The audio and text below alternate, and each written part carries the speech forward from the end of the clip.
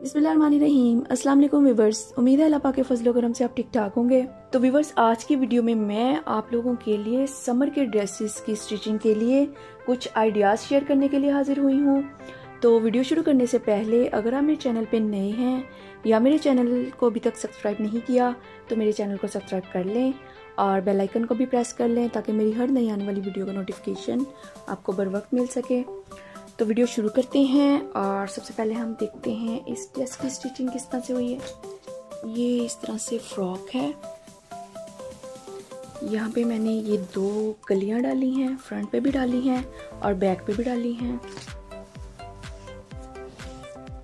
इस तरह से ये कलियाँ हैं यहाँ पे क्योंकि मैंने लेस नहीं लगाई तो वो ज़्यादा प्रोमिनेंट नहीं है। इसका नेक्स्ट स्टाइल है। नेक्स्ट स्टाइल में जो है यहाँ पे मैंने इसका राउंड नेक रखा है और यहाँ पे बटन्स लगाए हैं। यहाँ पे मैंने जैकेट स्टाइल दिया है इसको। कपड़ा लगा के और मैंने ये वाली लेस लगा दी है इसके ऊपर। आप इसको चाहो तो खुला भी रख सकते हो, मैंने इसको बंद कर दिया है। यहाँ पे मैंने ये डोरियाँ बना के लगा दी हैं। कपड़ा है, इसके ऊपर डोरी लगाई है। अटैच कर दी हुई है, जैसे ये कपड़ा है डोरी, क्योंकि मुझे बारीक लग रही थी, फिर मैंने कपड़े के ऊपर इसको सिलाई कर दिया है। तो ये आप अपने हिसाब से इसको टाइट भी कर सकते हो, लूज़ भी कर, रख सकते हो। इस तरह ये मैंने इस वाली कली के साथ इसको अटैच किया हुआ है। दोनों तरफ़। दामन जो है, इसका ये साइड से मैंने ओपन भी रखी हुई है। और ये इस तरह है। अब ये जो है, इसके स्लीव्स हैं। इसके स्लीव्स में मैंने ये फ्रिल बना के लगाया हुआ है, कपड़ा। और यहाँ पे इसकी जो है, ये मैंने लेस अटैच की हुई है। तो इस तरह ये इसकी शर्ट है।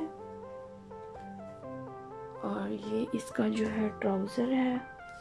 ट्राउज़र ऊपर से वैसे ही है जैसे सिंपल होता है। और नीचे से जो है, ये मैंने इतना जो कपड़ा है, इसमें अलग से अटैच किया है, ये इसमें प्लेट्स लगा के।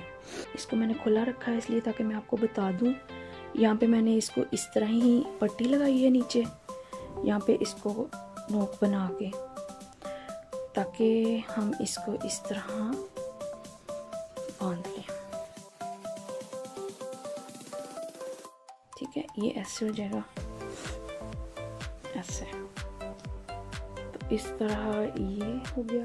ये ड्रेस जो है, ये सफ़ायर का था। हमने सफ़ायर का इसके डिज़ाइन के लिए ही लिया था क्योंकि इसका डिज़ाइन जो है ऐसे ही बना हुआ था। तो हमने जैसे कि उसके कार्ड के बना हुआ था, वैसा ही हमने इसको बना लिया।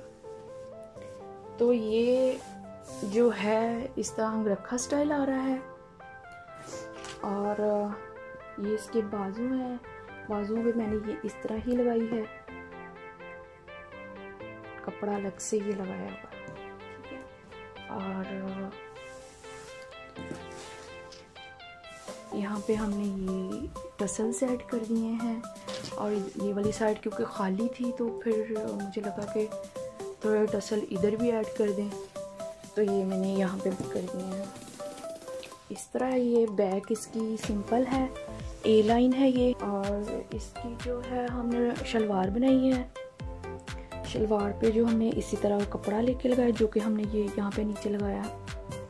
कपड़ा लगाया है, ये मैंने यहाँ पे प्लेट्स बारीक डाले हैं और ये मोती लगा दिए हैं, क्योंकि अब ये मैंने एक ही साइड पे रख के लगाया ये इधर से ऐसे जाता है और इसकी दूसरी तरफ़ से ये नीचे की तरफ़ आता। तो ये इस तरह देख सकते हैं, ये इधर वाली साइड से एक साइड से ये इस तरह है और दूसरी साइड से ये इस तरह है।